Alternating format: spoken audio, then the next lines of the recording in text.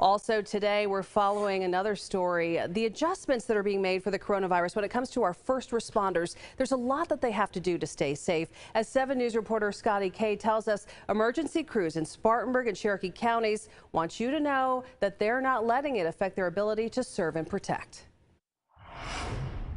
July 4th is uh, historically the uh, a holiday that's very busy for us. Firefighters in both Spartanburg and Cherokee counties expect an increase in calls this weekend. From a personal standpoint, I love the, the, the wonderful weather we're going to have this weekend, but from a fire chief standpoint, I hate the weather we're going to have. I wish it rained all weekend. The kinds of calls they usually respond to over the holiday weekend are for injuries and accidental fires caused by fireworks. We would hate for somebody to lose a home or lose, um, you know, property or burn a field. But responding to calls this year will be a little different from years past as crews now face an extra obstacle called the coronavirus. We want to provide the service that the community expects and the community deserves, but we also don't want to.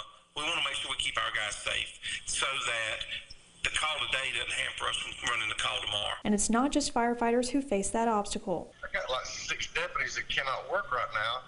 We're waiting on their test results. Now, I, I understand that, you know, you know, we're, we're not any more special than anybody else, but, you know, we, we have a service that we must give people. Not need to, but we must. That's why first responders are taking extra steps to try and prevent the spread and to make sure they can be there for you when you need them. We reduced the number of medical calls we're running to, and part of that was to protect our ability to provide fire service to Spartanburg County. We started taking all of our guys' temperatures every day.